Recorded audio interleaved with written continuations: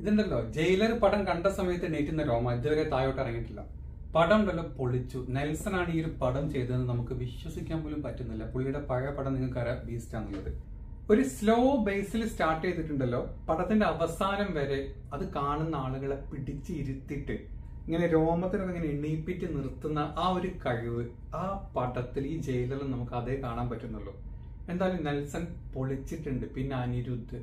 Background music ഒക്കെ ഓരോരുത്തർ വരുമ്പം ഓരോ കൈൻഡ് മ്യൂസിക് ആയിട്ടുണ്ട് അതെല്ലാം നമുക്ക് അങ്ങോട്ട് നമ്മളങ്ങനെ എന്താ പറയാ പിടിച്ചിരുത്തും പടം. എല്ലാ രീതിയിലും നമ്മളെ പിടിച്ചിരുത്തും പടം. അതായത് മോഹൻലാലും അതുപോലെ നമ്മുടെ രജനീണ്ണൻ എ ടു സെഡ് കംപ്ലീറ്റ് പടം പൊളിച്ചു വിനായകനും. എന്തൊക്കെ എന്താ പറയാ വിനായകനുമായിട്ടുള്ള ഇഷ്യൂസ് നമ്മുടെ കേരളത്തിലുണ്ടെങ്കിലും പടത്തിൽ വിനായകൻ പൊളിച്ചടക്കിയിട്ടുണ്ട് ഇനി അത് മാത്രമല്ല ഇന്നലെ മുതൽ എല്ലാ ചാനലിലും നമ്മൾ കാണുന്നുണ്ട്. മോഹൻലാലിന്റെ തിരിച്ചുവരവാണ്.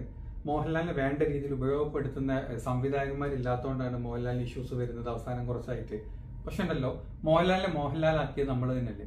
നമ്മുടെ നാട്ടുകാരുണ്ട്. നമ്മുടെ നാട്ടിലെ എന്താ പറയുക ഐ വി ശശി പത്മരാജൻ സത്യൻ അന്തിക്കാട് ജീത്തു ജോസഫ് പിന്നെന്താ ഐ വി ശശി അങ്ങനെ എല്ലാവരും കൂടെയാണ് മോഹൻലാലിനെ മോഹൻലാലാക്കി മാറ്റിയത്. കറക്റ്റ് അല്ലേ? മോഹൻലാലിന്റെ വളരെ എന്താ പറയാ മോഹൻലാൽ ഒരു കുറച്ച് സമയത്താണെങ്കിലും പുള്ളി പൊളിച്ചിട്ടുണ്ട്. ഒരിക്കലും നമ്മൾ പറയാൻ പാടില്ല. നമ്മൾ അപ്പ ഒരു തമിഴ് മൂവിയിൽ മോഹൻലാൽ ഇങ്ങനെ ചെയ്തപ്പോൾ തന്നെ എന്താ പറയാ നമ്മളെ നമ്മൾ വേണ്ട പോലെ ഉപയോഗപ്പെടുത്തുന്നില്ല. അതൊക്കെ വെറുതെ പറയുന്നതാണ്. മോഹൻലാൽ പണ്ടും ചെയ്തിട്ടുണ്ട് ഇതുപോലെ. പക്ഷേ കോസ്റ്റ്യൂമിൽ ഡിഫറൻസ് ഉണ്ടായിട്ടുണ്ട്. പുള്ളി ഇവിടെ ചെയ്താൽ അവിടെ ചെയ്താൽ എവിടെയായാലും കണക്കായിരിക്കും. പക്ഷേ ഉണ്ടല്ലോ ഇത് ഇതേ നെൽസൺ തന്നെയാണ് ബീസ്റ്റ് എന്താ പറയാ ഡയറക്റ്റ് ചെയ്ത് നമുക്ക് ചിന്തിക്കാൻ കൂടെ പറ്റില്ല.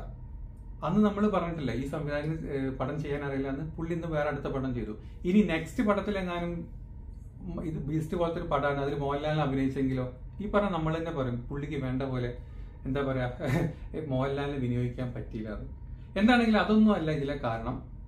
കിട്ടേണ്ട സമയത്ത് കിട്ടേണ്ട പോലെ തിരകഥ സംഭാഷണം സംവിധാനം മ്യൂസിക് കൊറിയോഗ്രഫി അതിന്റെ ബാക്ക്ഗ്രൗണ്ട് എന്തൊക്കെ സെറ്റിങ്സ് ഉണ്ടോ ആർട്ട് എവറിത്തിങ് അതെല്ലാം വേണ്ട പോലെ വേണ്ട സമയത്ത് ഒരേപോലെ വന്നു കഴിഞ്ഞാൽ ഇതുപോലത്തെ പടങ്ങൾ ഇറങ്ങും.